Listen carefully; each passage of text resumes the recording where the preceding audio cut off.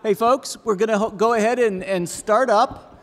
Um, I hope everyone has had a wonderful uh, time thus far at our conference. Oh, that's wonderful. I'd also like to um, just remind everyone, if you're interested, at 3.30 we are doing the RIT Tiger Tank here, where you're going to see five teams present. Um, but this time period is for our keynote speaker, and I just want to add a, a, couple few points, is that it's always a great pleasure for me to introduce the keynote speakers because our model here at the RIT Entrepreneurs Conference is really to bring in people from the RIT family, to bring in trustees and alums that actually have done well with entrepreneurship, technology, design. And the vast majority of the folks we bring in are relatively recent graduates. You know, they've graduated within five or 10 years, and they're partic particularly resonates with students that say, wow, you know, if I, if I pursue this path, I can, I can see this. And we're very appreciative. Now, towards this trend, we have a wonderful keynote speaker in this year's conference.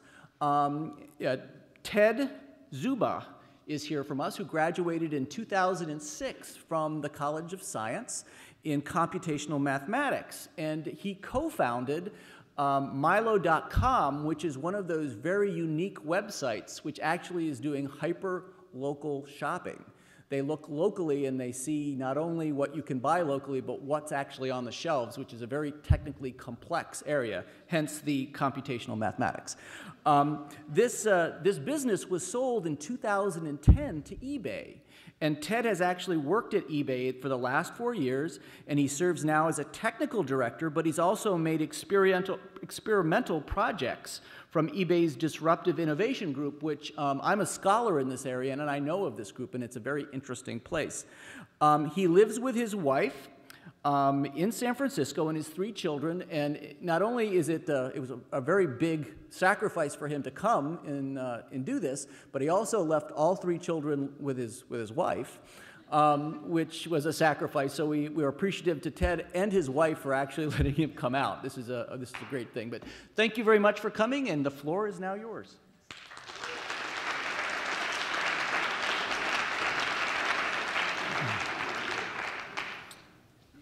So thank you so much for the invitation to come back um, to speak here at RIT. I've been living in Northern California for almost 10 years now, and I really forgot how cold it was here. Um, and I've been, I guess, feeling a bit nostalgic, um, but only really for a Nick Tahoe's plate, which I just found out they closed the one that was close by here. It's, I don't know, unfortunate. Um, well, thank you all for coming here. It's really great to see so many people at RIT interested in entrepreneurship. When I was a student here, you really only heard that word around the College of Business. Um, and I was a pretty big time geek, so that seemed kind of like, I don't know, icky, right? Like that's the, the business stuff. You don't want to deal with that. Like math, this is where you want to be, man. Um, to be honest, I still am kind of a geek, uh, but pretty tame by Silicon Valley standards. Um, any CS students in here? Anybody computer science? Yeah. I know a guy who has tattooed on his left arm the like lambda calculus derivation of the fixed point combinator. Like it, that's a thing that happens. Um, how many people in here want to start a company someday? Okay, cool. Wow, that's a lot. How many have already started a company? Wow. What are you guys doing here? You got work to do, man. Uh, it's really great seeing all the people in this room, how I think RIT has changed in the last few years since I was a student. Uh, I came here because I knew I wanted to work in applied technology, um, and RIT was really the perfect fit for that at the time. Uh, but I came here and I left here with the same attitude, which is, what are the skills that I need to get the job that I want? Um, and that attitude, I think, is shifting towards what are the skills that I need to build the kind of company I want to? And I think the earlier in life you have that sort of like shift of your frame of mind, the better you're going to do in industry, whether you start a company or not. Um, I had never really planned to be an entrepreneur, uh, at least when I was in school. But you never really know where the small decisions you make in life are going to take you. Uh, when I was in high school, myself and three other friends uh, we spent a summer coding an electronic medical record system. Uh, this was for one of the other guy's mother who was a physician. Uh, and she had all these paper records that she wanted to bring in the compu computer. And this EMR thing was still pretty new at the time. So we spent three months doing this uh, for her. And we ended up open sourcing the software. And every once in a while, I check in on it. It's actually still around. And it's, it's really interesting that having done that so early, it's something that is still in use. And there are people who they make a living off of customizing this thing for other physicians. And in that summer that we did that, I earned a sum total of $1,000 for three months worth of work. Um, yeah. Even though I didn't really know it at the time, that was really like the start of a career. Uh, and I didn't know I wanted to be an entrepreneur, but that's really where it began. When I came here to RIT, I was not a computer science student, although I probably should have been. Um, I was computational mathematics, which, I mean, I think was better, but that's just my opinion. Um, I ended up getting an on-campus job here at the Educational Technology Center, which I think has now been renamed Production Services. Uh, they do like internal web development, and the reason I found that job was because I had this previous experience coding this electronic medical record system, and I was coming in as a freshman, so they knew they were going to get four years out of me.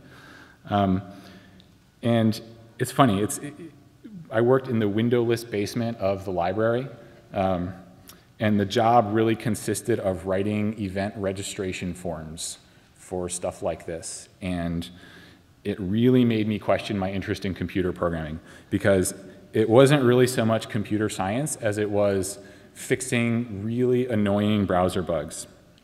Um, my boss, uh, Raman, would come to me with all kinds of bugs. And it was like the most annoying thing to constantly be told that your work is not good enough. Um, but I guess that was a harsh introduction to what it was going to be like in industry. Um, besides, I was paid by the hour, not by the task, so I guess I didn't mind that much. When I was a junior year, uh, a junior here, I cold applied to an internship at Google. And they called me back because I had this programming experience at RIT. And I spent a summer there as an intern in Mountain View. Uh, my job was to build the Google Employee Directory search. Uh, I mean, not the most interesting thing in the world, but it was a pretty good internship, I gotta say. Um, and after I graduated, I had joined Google full time even though I like nearly died of senioritis because they sent me my offer in October and I had to graduate before it was actually final. Um, but even being in Silicon Valley as this like Web 2.0 thing was really taking off, um, I didn't want to be an entrepreneur. I didn't know that's what I wanted to be. But two of my close friends from RIT who were in software engineering they knew that they wanted to come out to Silicon Valley to start a company. Like that's what they wanted to do. And I was just kind of hanging out at Google getting fat. Um, so when they came out, they asked me if I wanted to join, and I said sure, because I was, like I said, getting fat and a little bored. Our plan was to build a news recommendation system, uh, totally automated, machine learning, artificial intelligence. It was going to be great. Uh, the idea was we'd use the semantic text analysis and machine learning to learn the type of things that you'd be interested in reading about, and then we would show you stories that were on that topic, right? Like, sounds great, kind of. Um, for a math guy, it was awesome because we had like vector space projections and this machine learning algorithm. It was really juicy.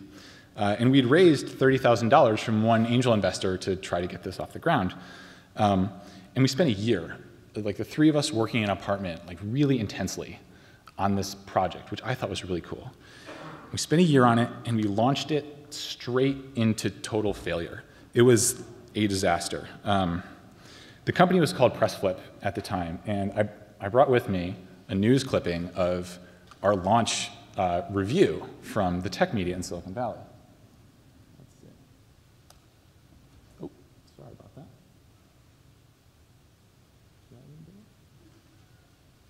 I guess not. the headline was Press Flip is a belly flop. Um, so that's a shot to the old confidence, I gotta say.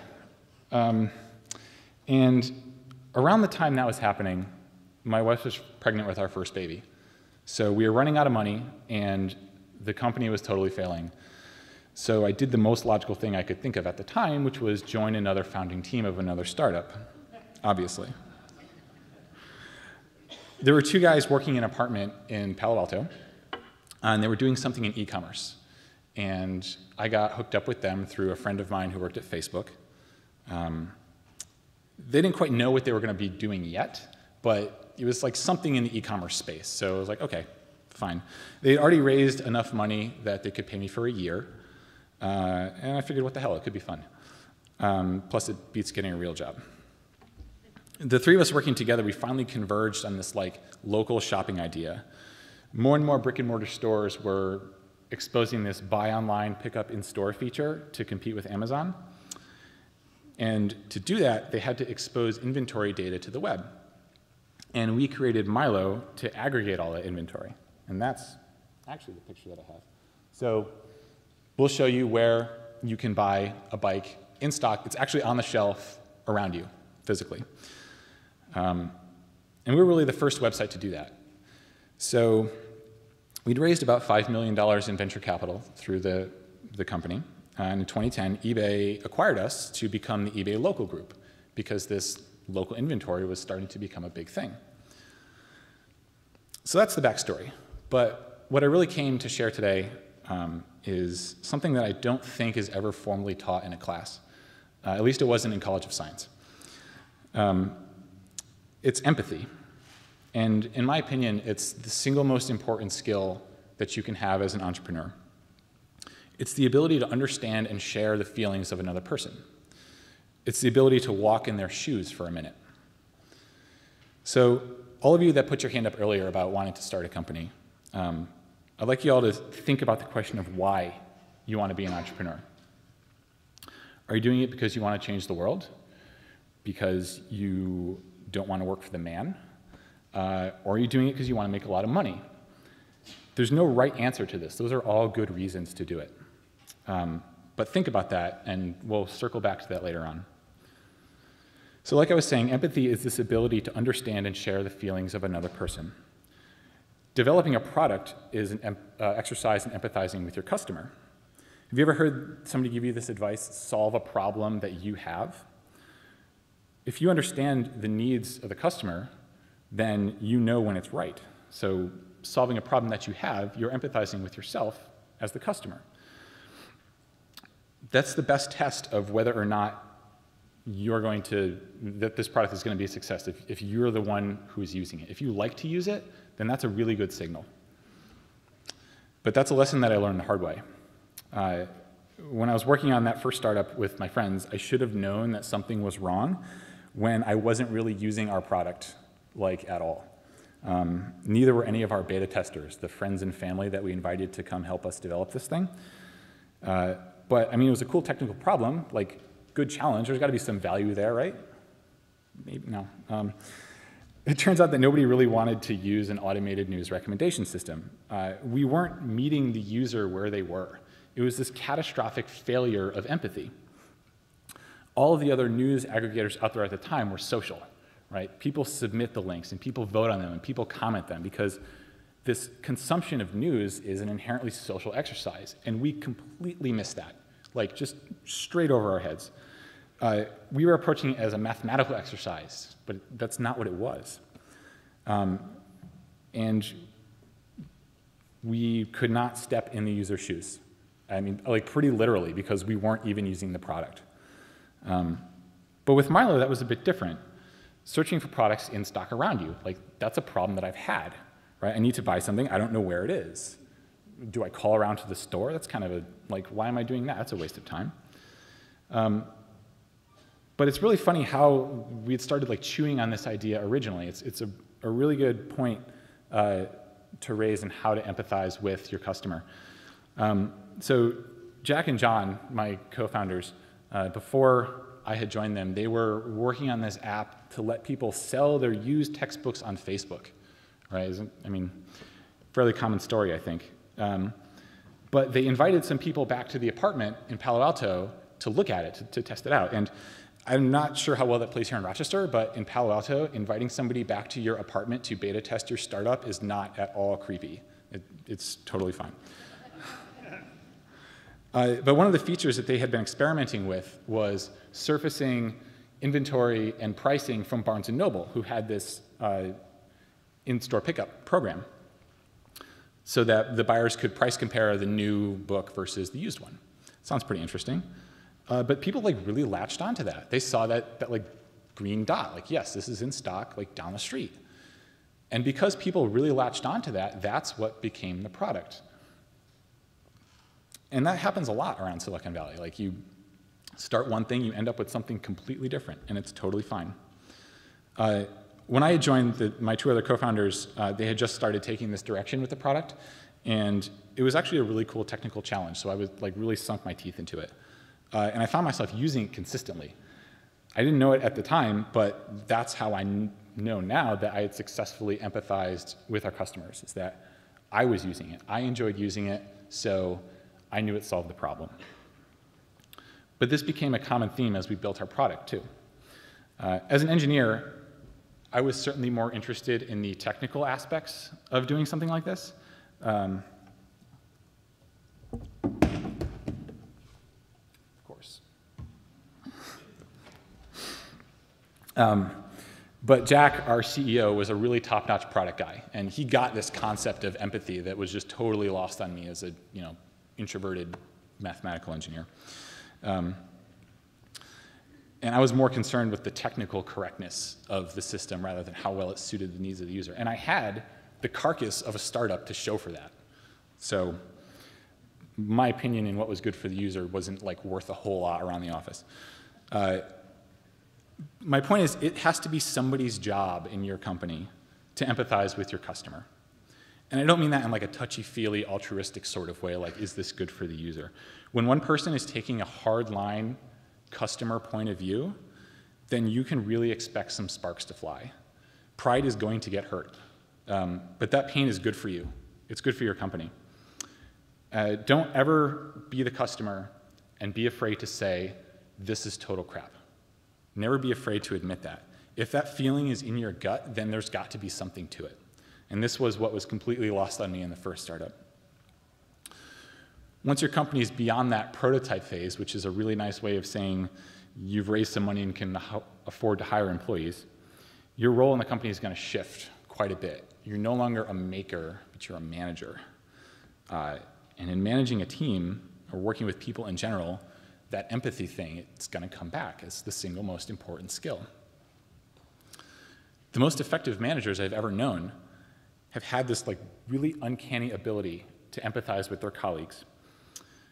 In the startup, this is critical because it's a high stress, high pressure, low resource environment, which is a fancy way of saying you're paying people very little money to put up with a lot of BS. And it's really easy to fall into this simple categorization in a business that there's good people and there's bad people. There's hardworking people and lazy people. There's leaders and there's detractors, right? And the leaders, we need to reward them, right? And they need to be elevated. And detractors, we have to punish them. We should fire those guys. Um, but I think this is an artifact of a really old way of organizing human society. And in my experience, when you categorize people as good or bad, as go getters or as lazy, or as detractors or leaders, then that makes you a much less effective person when you're dealing with other people you really have to understand where somebody's coming from when they're acting a certain way. When we were a startup, we hired this fantastic engineer. Like this guy was great. He was experienced, he could tackle complex problems. You put him on anything, he could get it done. Uh, but we noticed he was always really negative and just never approached things with a good outlook. And that sort of thing, especially in a small team, can really drag the rest of your team down. And even though he was a great problem solver, we'd considered firing him because he was making everybody else worse. Uh, his outlook to a problem was always, this solution is never going to work because such and such reason. It was never, here's an interesting way we can attack this. So I'd kind of classified him as the bad guy, right? Like, he's dragging everybody down. I'm going to fire this guy. Uh, but one night, I got to talking to him over a beer at this bar that was around the corner from our startup. Uh, and I come to find out that through his work experience, he's become pretty bitter about never being able to go back and correct the mistakes that he's made. We call this technical debt. It's all of the shameful stuff that you do to ship your product on time. Uh, and you, I mean, to be honest, you never go back and do it the right way because you've already shipped it, the customers are buying it. Why do we need to go back and address that again? Uh, but in software, this sort of thing, it builds up. It's, it's accretive. Um, and it makes life really hard for developers. And as a developer myself, I understood this pain. Uh, it feels like an indication that the management does not care about the developers, that they're just, hey, feature, ship it as fast as you can, right? Don't worry about that old stuff, that's all done. But as this complexity grows, shipping new features gets harder and harder. It takes more and more time. And your managers are always breathing down your neck. Why isn't it done? It should be done faster. You did the last one really fast. Why does this one take so long? Well, it's because I had to do the last one in two weeks and I couldn't do it the right way. And now I don't have time to go back and fix it. So everything else is slow. So I asked this guy, what is the technical debt you want to pay down here? And we talked for a bit about one of the subsystems and why it was causing problems for future development. Uh, and after talking about it, like I could really feel this guy. He was, he was not happy. And this was something that was really causing problems and was really making him negative. And I could especially feel it because the subsystem that he was talking about was something that I made. And I knew it was total crap. I knew it had to be redone. But I didn't want to admit that to myself. I don't know, call it pride, call it, you know, wanting to ship stuff out the door, but there's a lot of times in entrepreneurship where you're going to have to swallow your pride and really just face a fact. So I told him, okay, go fix it. If it's really that much of a problem, go do it. He was really taken aback. I said, yeah, I trust your judgment, so go do it. He spent a week and a half retooling this one part of the system. And he did a really good job, by the way. But after that, I could see a great positive change in attitude. He was much better to be around, much more uh, good outlook. And that helped the rest of the team because he was a fairly senior engineer. This guy felt like he was in control of his own destiny after that, I think. Uh, and we'd gotten there because I was able to empathize with him. Um, this doesn't just work with employees, though. Very early on, uh, we were looking for ways to make our inventory checking code a lot faster because our servers had to call across the open internet to the merchant servers to do a stock check for an item. I mean, it's not a very interesting process, but it takes a long time because it's like traveling across the country. And that made our website really slow.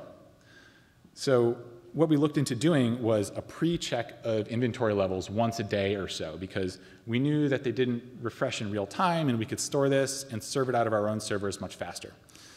Um, but the difficulty in doing that is that these stock checks happen on a combination of a product identifier and a zip code.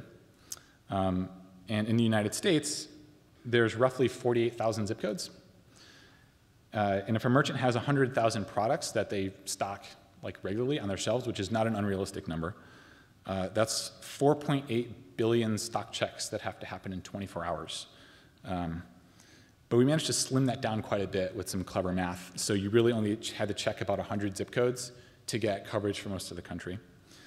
Um, and given all that, 100,000 uh, products, 100 zip codes, it works out to about 115 queries per second to the merchant server, uh, which I don't know if that sounds like a lot, but it's, that's totally tractable for any like production web system.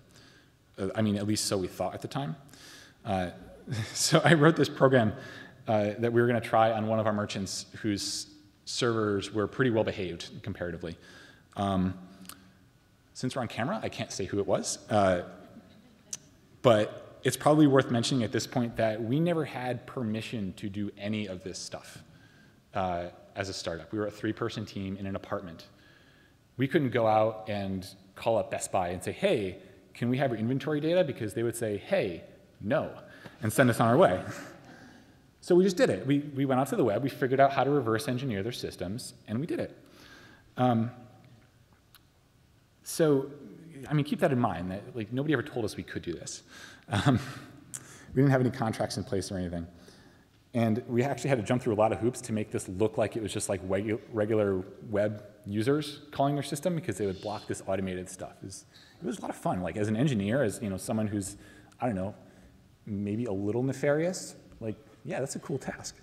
Uh, so I wrote this program in the morning, and I finished it at about 11 a.m.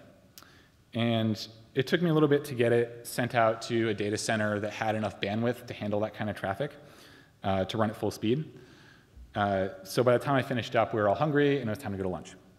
So the three of us, me and my two co-founders, we went out to lunch in Palo Alto. And maybe 30 minutes later, I'm like mid-sandwich, right? And our CEO, Jack, gets a call on his cell phone. And it's somebody from the data center where we lease our servers from. They say they had to shut us all down because of an abuse complaint from a remote network operator. And he gives me the eye. He's like, Is that you? I'm like, Yeah. So, lunch over, time to go back to work. Uh, we get back there and we find out that the information security people at this merchant that we were crawling, they thought it was a hack attempt. What had happened was they hadn't properly balanced the load in their subsystems. So while we were whacking on their website with our script, that was like sending all of this load to their production inventory database and totally overtook it. Um, which meant that none of their retail point of sale systems across the entire country could make a sale for like 15 minutes. um, oops. Uh, so, I mean, rightfully so, secu the security people freak out, right? Because they're losing money. Uh, and they eventually trace it back to our data center, and we get shut down. Uh, eventually, we get on the phone with the security people at this company, and they're like really in no mood to hear it, right? It's not having a good day. Uh, but this is where I saw something really masterful.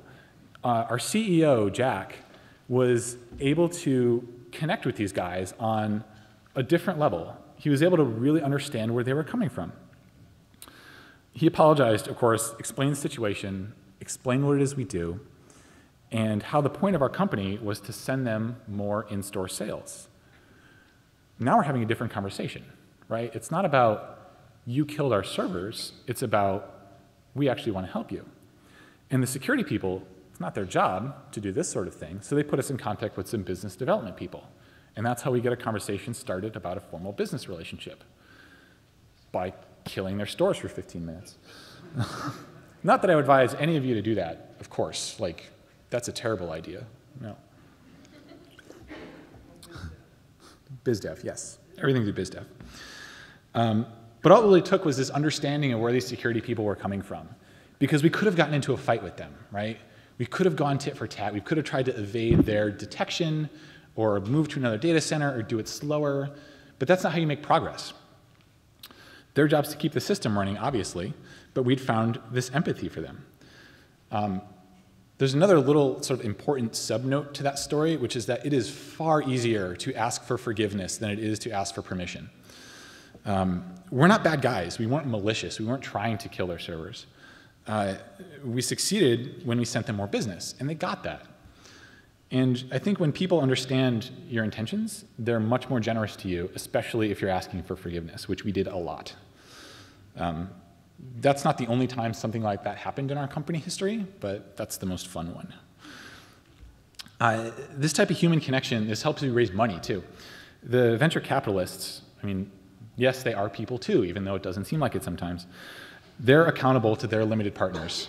They have bosses like everybody else they want to show a good return because they've gone out and they've raised money for their fund. Uh, entrepreneurs like to joke about VCs. So you have a founder and a VC who are walking down the street, and the founder spots a $20 bill on the sidewalk. He bends down to pick it up. The VC looks at him and says, Whoa, what are you doing? The founder says, I'm picking up 20 bucks. And the VC says, No, it's a counterfeit. Don't do it. The founder says, How do you know? Because if it was real, somebody would have picked it up already. I mean, there's some amount of reality to that. Uh, I mean, maybe a lot, but the investors, they spook easily, right? Nobody wants to lose money, obviously.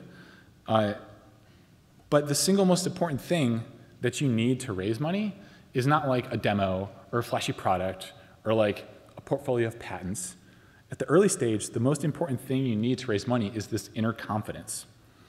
Because people who are investing, they generally invest in people over ideas at the early stage. Uh, and it's expected that your idea is going to change as you learn more about your market. They're not looking for your ability to execute on plan A. They're looking for your ability to get from plan A to the plan that works, hopefully before you run out of cash. For example, YouTube actually started as a dating site called Tune In Hook Up. Seriously. Uh, when they invented this technology to play videos inside of a browser in a way that wasn't completely awful, incidentally, because they wanted people to have video profiles for their, their dating site profiles. But eventually they decided it was good for general purpose videos, so therefore, $1.65 billion later, Google owns YouTube. Um, but what Google doesn't own is OkCupid. Um, so you never know where your ideas are going to take you, and it takes a lot of experimenting to find them. Um, but it really takes an inner confidence to execute on that, and that's what investors are going to be looking for. Of course, you have to make a business case, right? You, you need to you need all the graphs in your pitch that go up and to the right, right? Because that's what you want to see. Bonus points for like the dotted line, right? You have like the solid line of like, here's all the users we have now, and the dotted line for the trend line in the future. Like, yes, of course that's going up and to the right.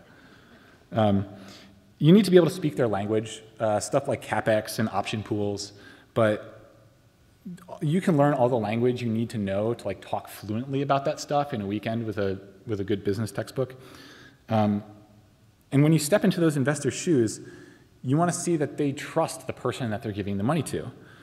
Um, they need to trust that you know what you're doing. In the pitch room, you get this like standard barrage of questions from an investor.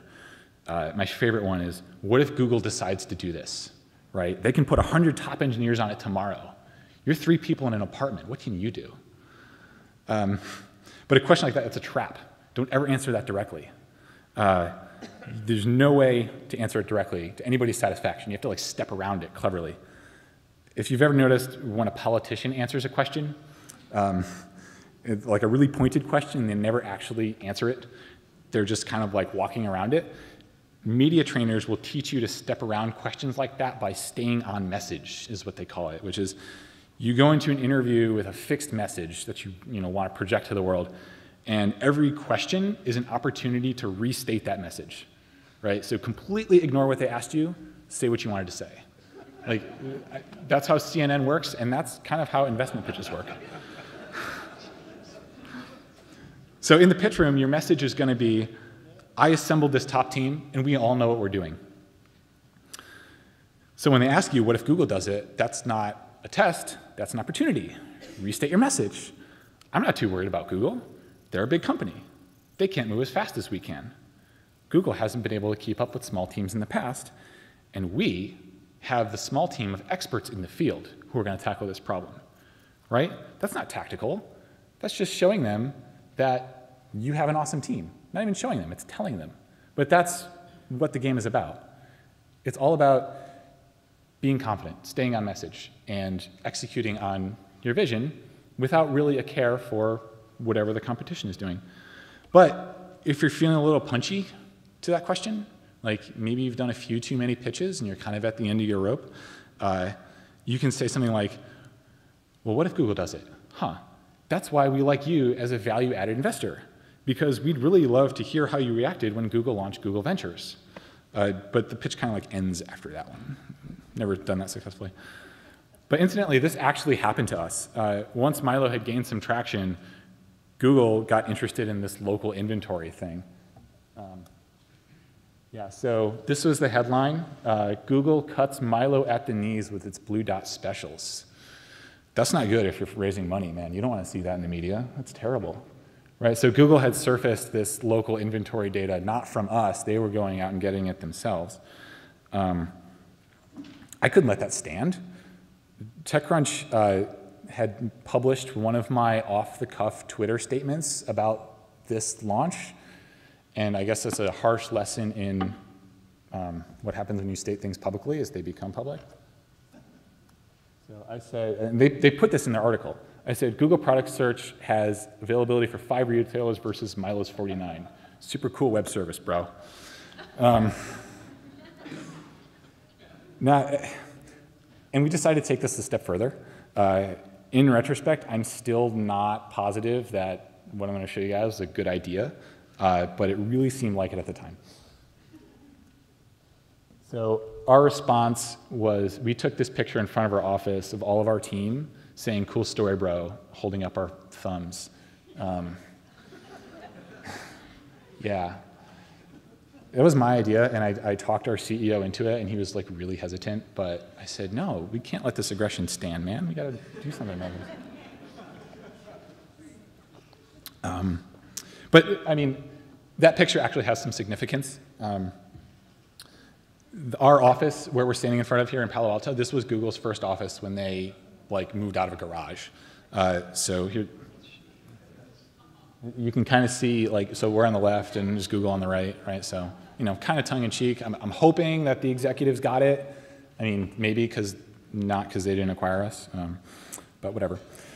but then eight months later, we're here, right? So, I mean, yeah, we threw some punches uh, and it was fun.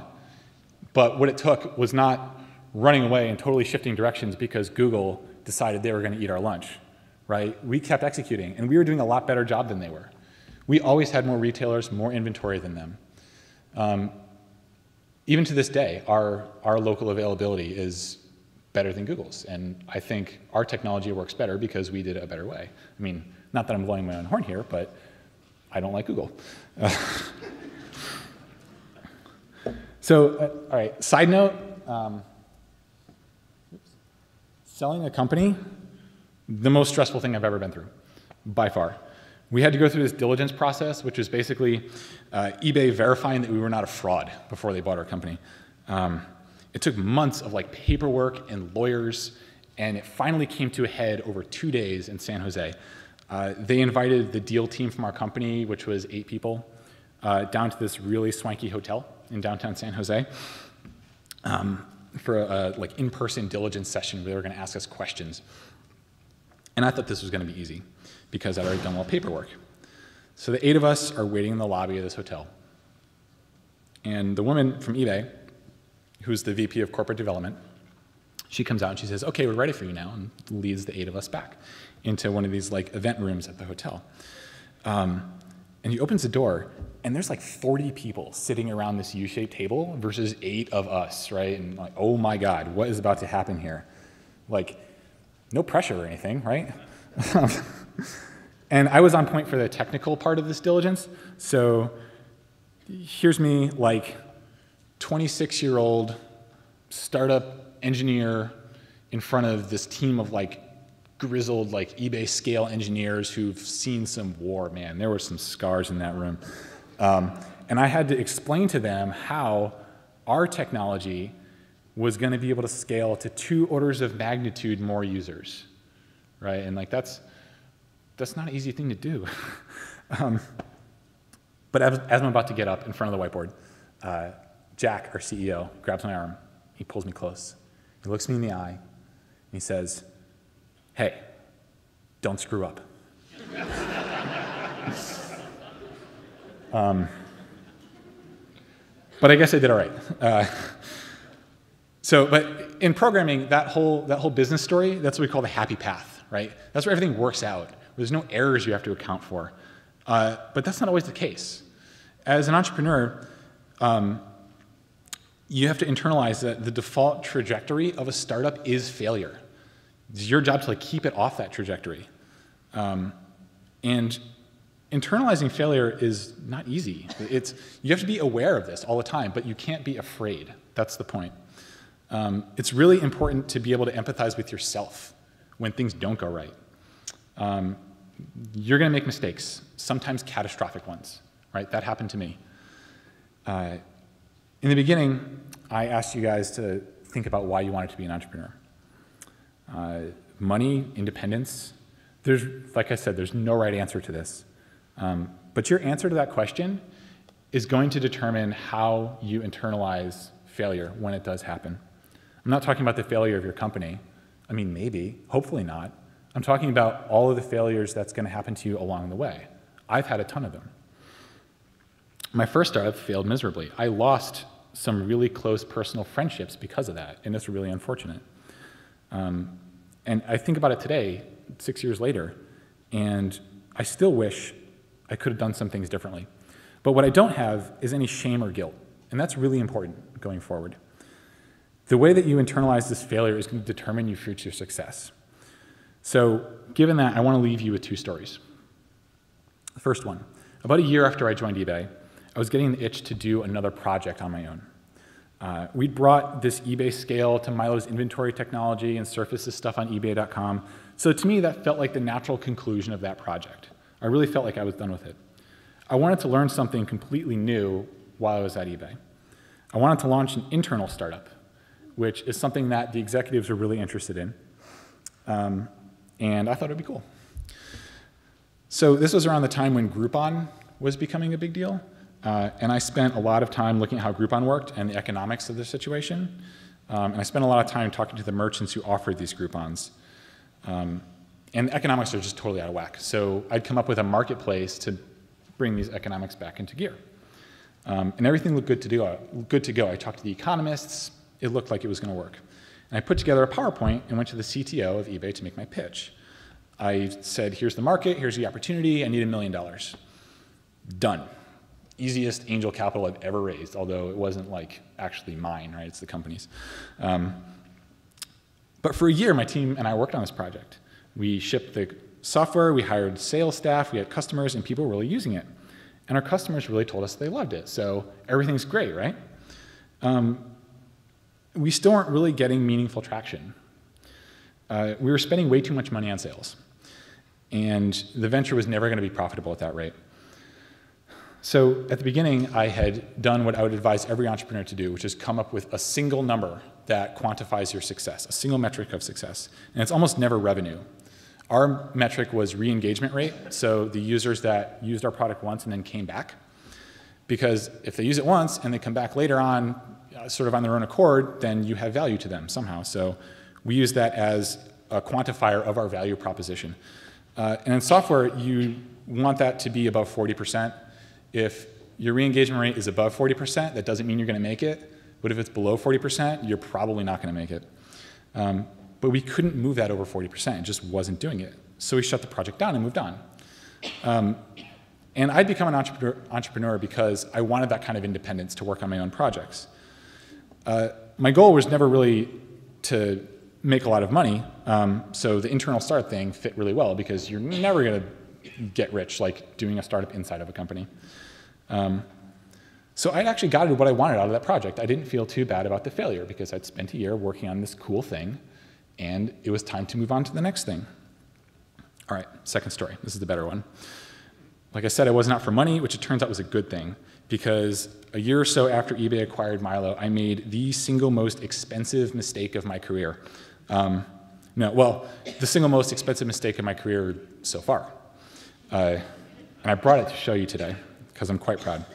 Um, this is an email. Uh, you can see the subject and the sender, WhatsApp. Jan Koum is the CEO of WhatsApp. He says, my coworker says we should hire you. Um, and I went down to their office and I talked to them and they wanted to hire me. And this was in 2011. Um, and I think you guys know what's coming next. Let's see thanks for your offer, but I've got a bunch of interesting stuff queued up to tackle at eBay for the time being. Um, and of course, three years later, Facebook acquires WhatsApp for $19 billion. The real kicker, though, is that Jan reached out to me every single year until that happened. So three times I said no. Um, yeah, that's yeah, expensive. Uh, a similar thing happened with uh, a different company. One of my co-founders, Jack, says, hey, there's this cool company in Palo Alto doing commerce. You want to go talk to them, they need some technical advice. Nah, I'm busy. That turned out to be Pinterest. Um, oops again. But these sort of things can drive you nuts, right? Like, if you're out for money and you miss an opportunity like that, that's going to eat you up inside. But I'd never evaluated these through the lens of money. I'd evaluated these through the lens of I want to work on something interesting. Join an established company that's already doing stuff? No, like, no, not interested. No thanks. Um, but that's what I want to leave you with. Uh, think about why you want to do this. There's no right answer and there's no wrong answer. Um, but when you're staring into the face of this seemingly impossible difficulty that you're going into, there certainly is a right and a wrong attitude. Thanks.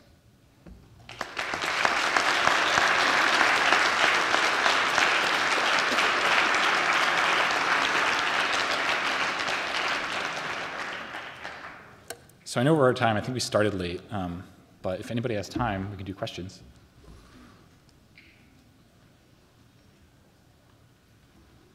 No? Yeah, question.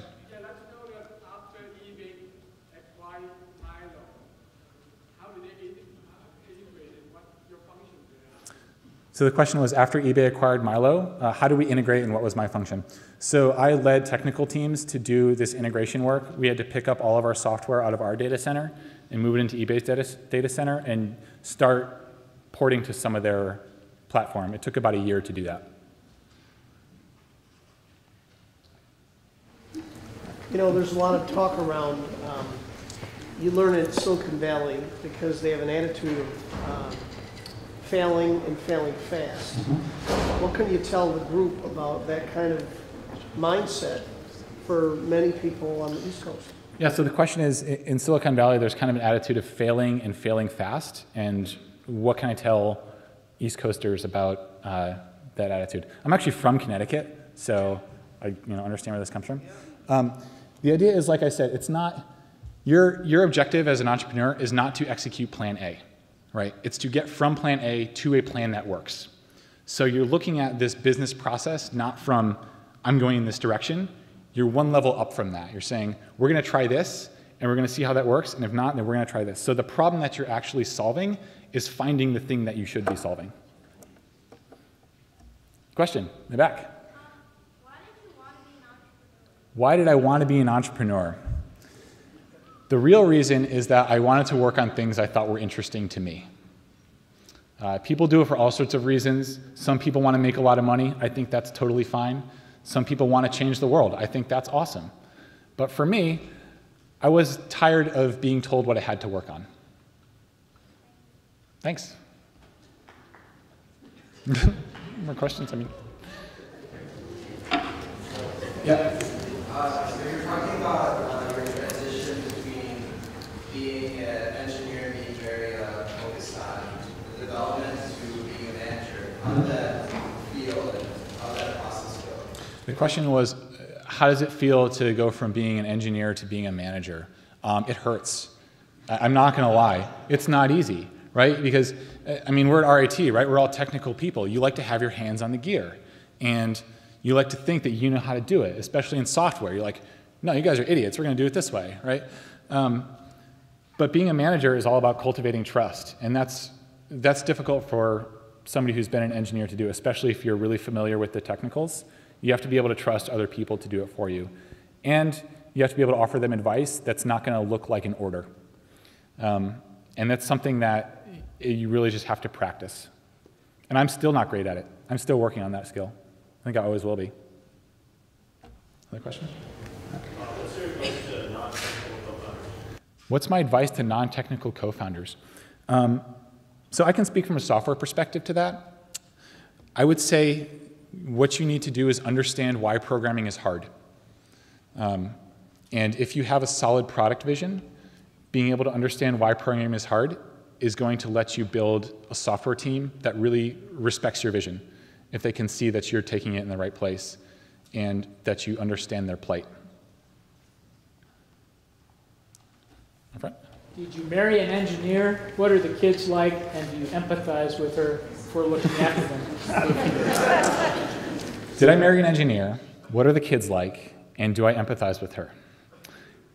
Yes. So, um, my wife is also an RIT grad. Uh, her name is Julia. She graduated in applied mathematics, and she worked as a mathematician for a number of years.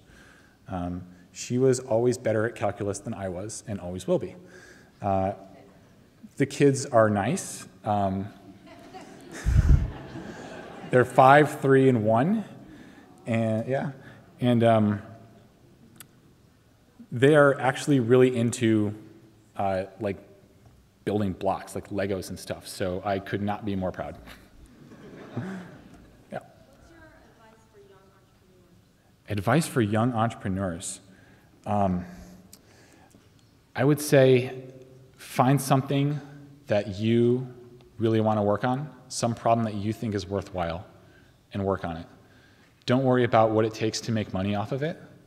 Um, but you have to be passionate about whatever it is that you do, or you're just going to get sick of it.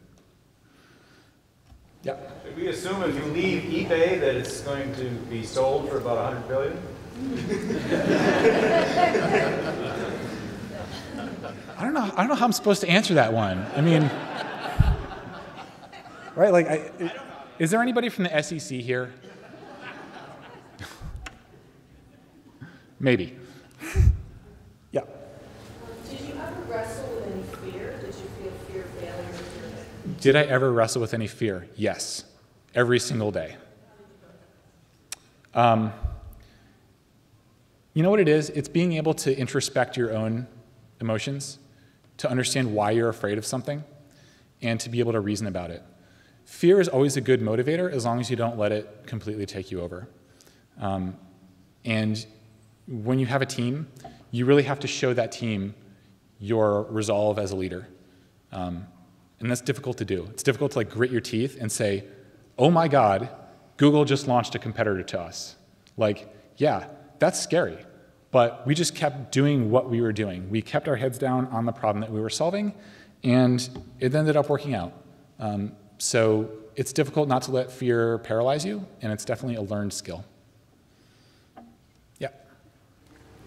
When you were initially putting together the, you know, the, the team of entrepreneurs, and uh, obviously you have a, a level of expertise technically, and, and I'm assuming the CEO, who- the person who was uh, the CEO, you know, is a great leader or a good leader.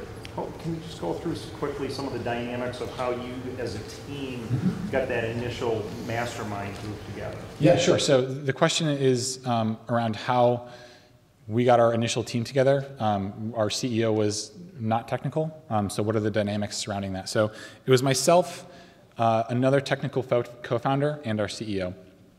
Our CEO, he went through this exercise of understanding why programming is hard. So it was very easy to, uh, he showed us a lot of respect for when we said this is difficult. Um, so he understood that when he was asking a lot. Um, the dynamics, I mean, sometimes I will admit it was not easy, right? You have three people in an apartment in a very high stress environment. Um, you don't have a lot of money, you don't have a lot of resources, and nerves do get frayed. Um, but we really trusted that our CEO knew what he was doing. Um, and that trust came uh, empirically because he would go out and raise money. He was great at finding us talent and advisors.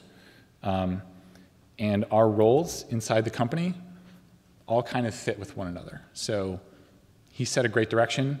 Most of the time we agreed. Sometimes we didn't. When we didn't agree, we had a long discussion about it. Um, and sometimes when we said, like, look, this is going to require too much effort. This is too much time we have to spend on this one feature. And he believed us. He says, okay, we can move on. So it's this mutual trust of the founding team. And honestly, that's why a lot of founding teams break up, is because they lose that trust. In the back? So how do you find the trust in people and how do you find the right people that are for your company? for your, uh, startup? Uh, I would, so the question is, how do you find the right trust in people, and how do you find the right people for your company?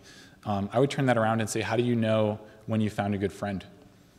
Um, somebody that you can actually trust with something. Uh, it, I mean, it's not always easy, right? I- interviews are, we did really extensive interviewing. We had a really interesting practice where when we wanted to extend somebody an offer to come work with us, we would hire them as a contractor for a week to come and do what we called a trial period to see how well they work with the team. And it, honestly, it was a two way interview. They needed to see that they wanted to work well with us, too.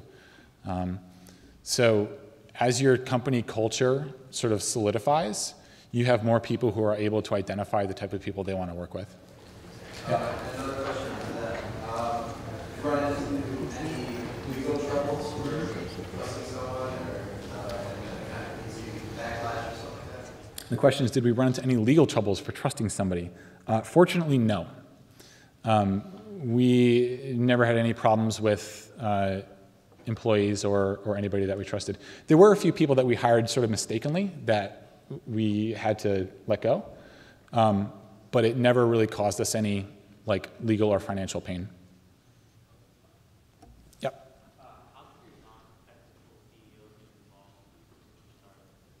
How can a non-technical CEO get involved in a startup? Yeah. Yeah, that's a great question. So as a CEO, if you are the CEO, you are the startup from day zero, right? So your job as a CEO, you have to keep money in the bank, you have to set the direction for the company, and you have to hire the talent to execute on the direction, right? So maybe you don't have your hands on it yourself, but you have to find the team and cultivate the team. This actually happened, the website Digg.com back in the day, Kevin Rose, the founder, he hired someone off of Rent-A-Coder to start that thing, right? And, but he had this vision, and he's like, well, I have a little bit of money, so we can test this, right? Like, we, we can code this idea. And eventually, I mean, he obviously brought that person onto his team once it became a big thing, but I mean, that's what execution is. It's, it's building the team and delegating if you're not technical. Yeah, in the back. Yeah. Why did you um, go for Milo? Like for money or how about like because you interesting because you wanted to help? Like why?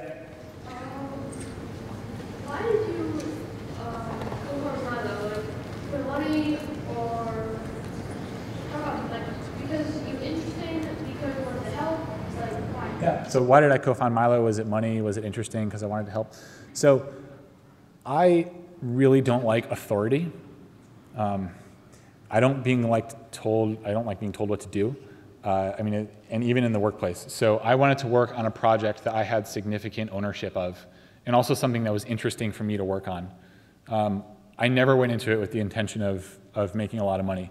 Uh, I mean, because if I had, I showed you that, you know, missing out on a $100 million payday. Um, that would have hurt a lot, but it didn't. Yep. Um, what do you think Milo will be like? What do I think Milo will be like in the future? Let's see. Everything is going to be on here, for sure. I mean, this mobile was just getting off the ground when that was happening, but every, everything is moving to mobile right now.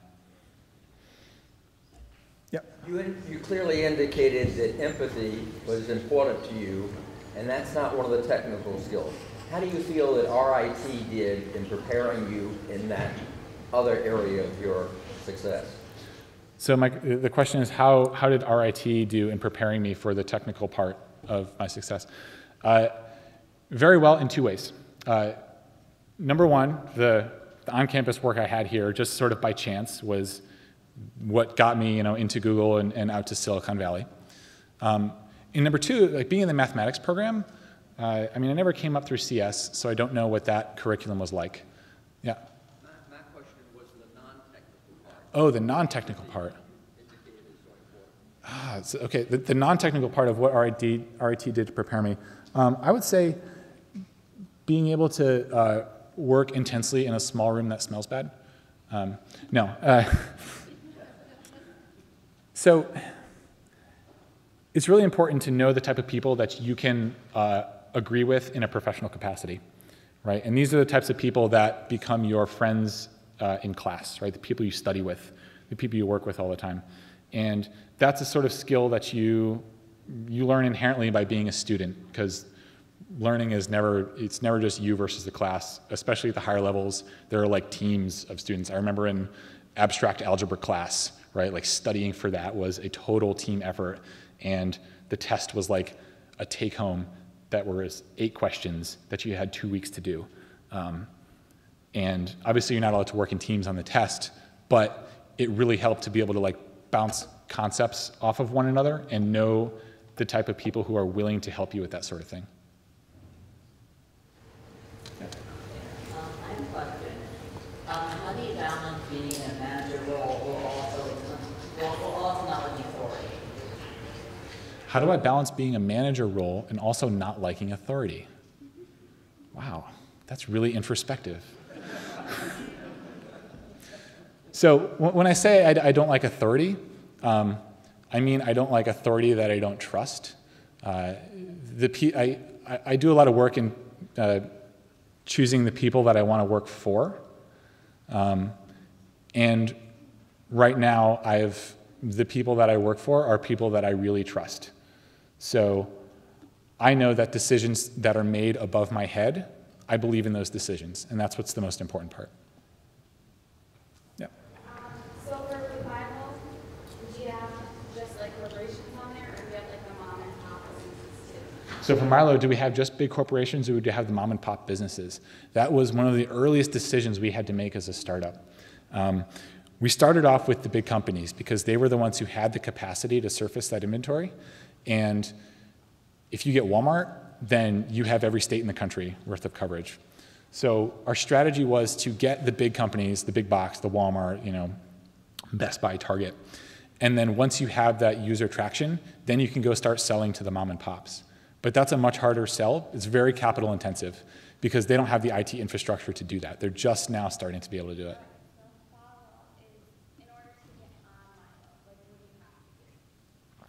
Um, so there are a couple of ways. I mean, that, the answer to that question has changed, but the way it is now is we have an app. It's it's an eBay app uh, that integrates with some point of sale systems that are commonly used at small stores. Yeah, go ahead. Like throughout your career, what would you say has been like your biggest challenge for being um, a successful?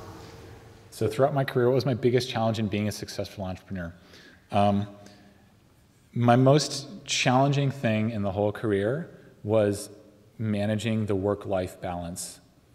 Um, because like I said, I joined Milo when I had one kid. My, my daughter was born. And now I have three. And um, it's really worth it to spend the time thinking about what makes you happy in life. Um, some people, work is what makes them happy, uh, but not me. Um, I, I like to spend time with my family. I like to go camping totally off the grid where my cell phone doesn't work. Um, and that's the sort of thing that I need. So being able to manage that is really important. Thanks. Oh, wow. Way over time. I would like to thank Ted for making a long trip from California to speak to this group and be the keynote of our speaker. And we'd like to give you this small, very small, token of our appreciation and thanks. Thank you.